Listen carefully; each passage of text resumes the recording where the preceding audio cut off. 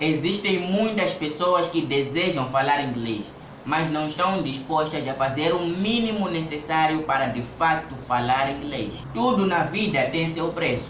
Aquelas pessoas que você admira hoje fizeram certos sacrifícios para se tornarem as pessoas que elas são hoje. Aquela pessoa que fala inglês fluente, sem nenhuma dificuldade, e você fica maravilhado sempre que a escuta falar. Teve um tempo da sua vida em que esteve a enfrentar as mesmas dificuldades que você enfrenta hoje.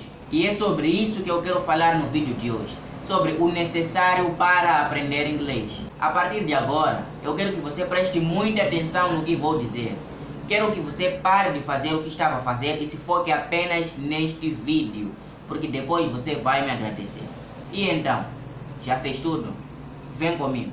Foi comprovado por um grupo de cientistas do USA que aquelas pessoas que nasceram num país que não tem inglês como a sua língua oficial, mas conseguem falar inglês tão idêntico a um nativo, essas pessoas têm comportamentos e atitudes diferentes das outras pessoas, diferente dos outros estudantes de inglês.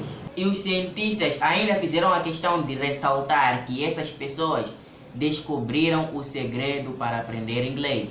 Eles têm um padrão de atitudes que lhes fazem se destacar da maioria dos estudantes. Ou seja, eles acertaram várias vezes, onde talvez você e eu erramos várias vezes. Mas isso termina hoje. O primeiro comportamento que eles têm em comum é saber que não importa quanta teoria eles tenham, eles nunca serão capazes de aprender inglês, de falar inglês, se não praticarem. Os cientistas declararam que essas pessoas sabem muito bem disso e por isso eles sacrificam aquelas horas saborosas que ficamos no sofá a assistir televisão, a perder tempo. Então, eles pegam aquelas horas e vão praticar tudo o que aprenderam sobre inglês.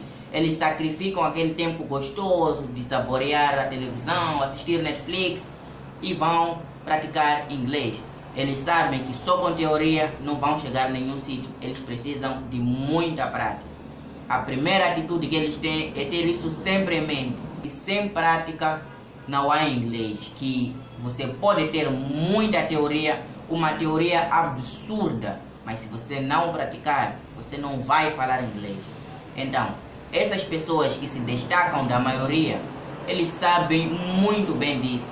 E os cientistas comprovaram que essa é uma das atitudes que fazem eles se destacarem da maioria. Por fazer isso repetidamente, dentro de apenas um mês, eles já saem na frente das outras pessoas que começaram no mesmo momento que eles. Essas são pessoas determinadas, pessoas com objetivo, pessoas que sabem o que querem. Pois, sem prática, a única coisa que você será capaz de fazer é resolver exercícios em inglês.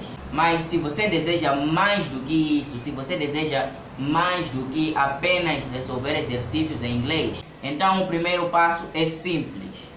Pratique.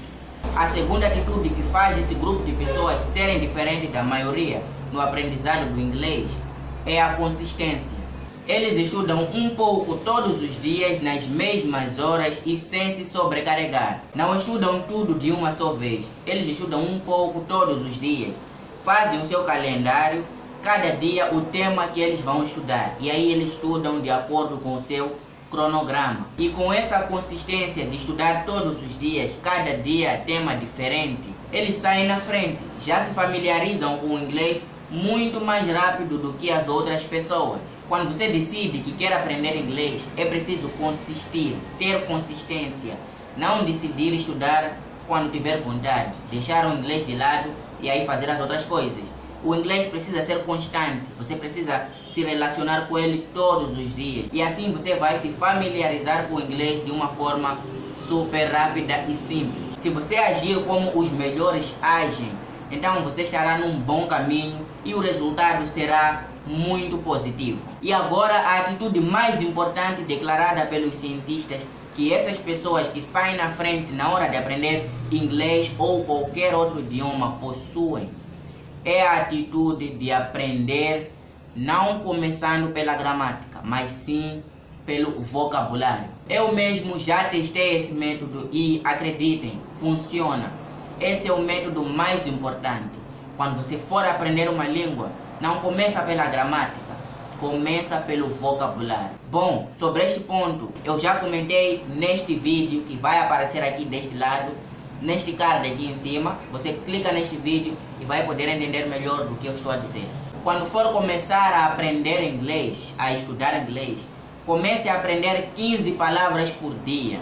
Não comece pela gramática. A gramática é complexa, só vai te confundir. Então, comece por aprender 15 palavras por dia, que quando depois você for pegar a gramática, quando você for resolver exercícios, será muito mais fácil, pois você já conhecerá, já terá domínio de algumas palavras em inglês. A gramática pode complicar o seu aprendizado se você estiver no nível zero, pois existem muitas regras na gramática. O que você deve fazer primeiro é se familiarizar com as palavras do idioma que deseja aprender. E só então você pode pegar a gramática. Acredita, funciona. Uma vez a minha mãe me disse que ninguém se arrepende de ter aprendido e eu concordo com ela. Por isso se inscreva aqui nesse canal para aprender muito sobre inglês e nunca se arrepender. Compartilhe este vídeo com as outras pessoas que você conhece que gostariam de aprender inglês e se comunicar nessa língua maravilhosa. Vamos todos aprender inglês aqui neste canal. Deixa um gostei, escreva os seus pensamentos aqui no comentário. E se você caiu de paraquedas aqui nesse canal, eu sou Ryan Neutro